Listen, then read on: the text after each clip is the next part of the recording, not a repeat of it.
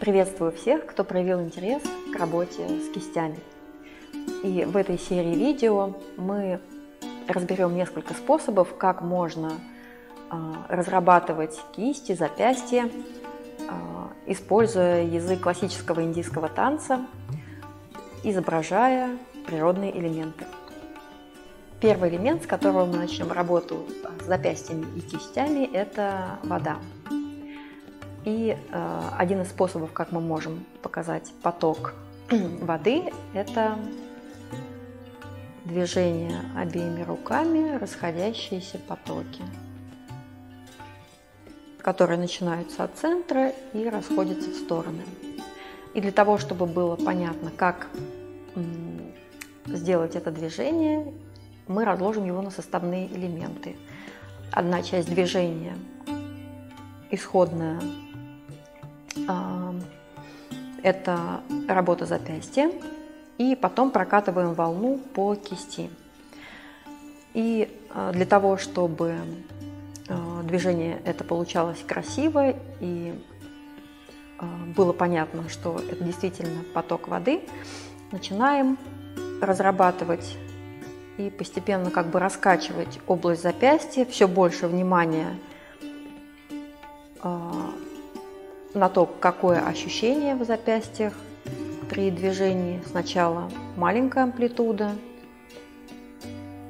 и потом постепенно можно амплитуду увеличить. Для удобства можно представить, что э, к вот этим верхним точкам привязаны ниточки, и сначала за ниточки подтягивают запястье вверх, а потом натяжение ослабевает и запястья опускаются вниз. То есть первое упражнение, которое полезно сделать, это именно упражнение на запястье и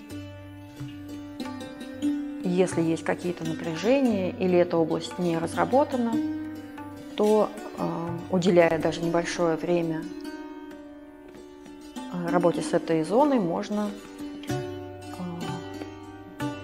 улучшить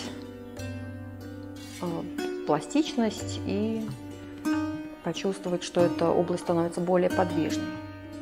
И следующая составляющая, вторая составляющая движения – это волна, которую от основания ладони докатываем до кончиков пальцев.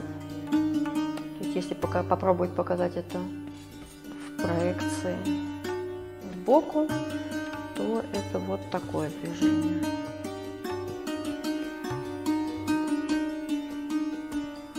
И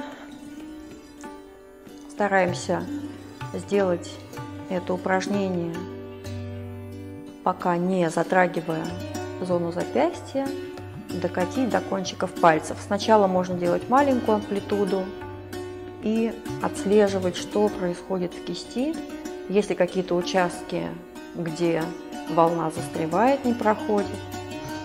Ну и со временем амплитуду увеличиваем.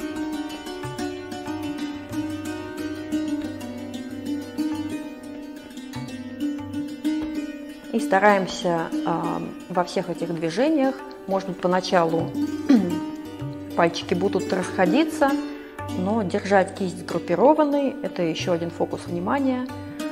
Э, красивым смотрится движение, когда э, э, кисть вот как единое целое. И теперь объединяем движение в запястье, движение в кисти и запястье как бы инициирует, задает волну, которую докатываем до кончиков пальцев.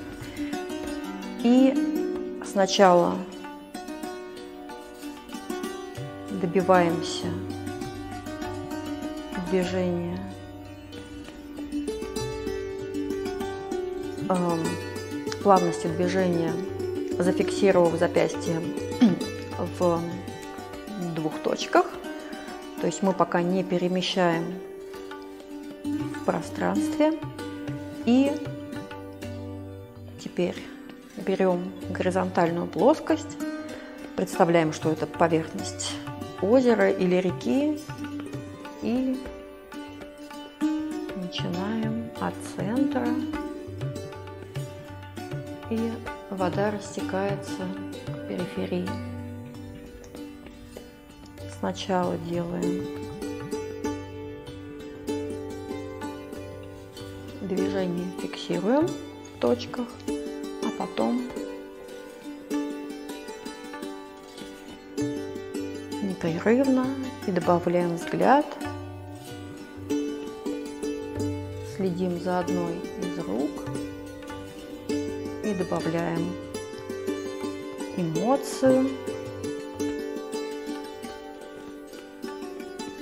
Такой может быть работа а, запястьями и кистями, когда мы имитируем а, поток воды. Второй способ – это когда поток воды, например, стекает с вершины горы. И тогда мы берем верхнюю точку и постепенно доводим его до доводим вниз до, например, равнины, да, поток стекает с горы и течет дальше. А, суть движения такая же, но нам нужно будет разместить руку и э, понимать, что э, траектория движения руки э, это диагональ и если берем верхнюю точку ближе к голове, то от себя чем ниже, тем дальше. И движение, которое мы делали в горизонтальной плоскости, нам нужно развернуть, и оно будет немножко иначе ощущаться. Для этого полезно сделать это же самое упражнение, также разбив его на движение запястьями.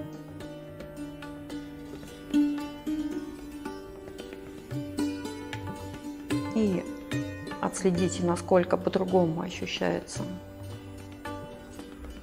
это движение и волна от основания ладони до кончиков пальцев.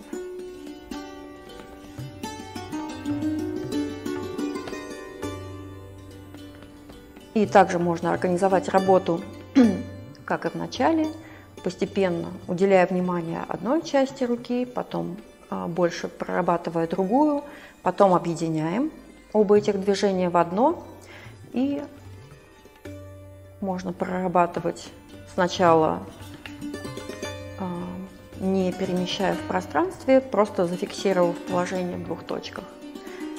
И дальше берем это движение и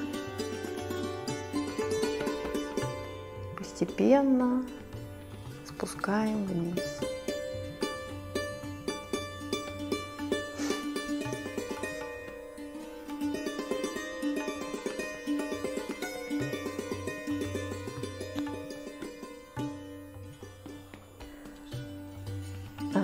Такой может быть работа а, с водой.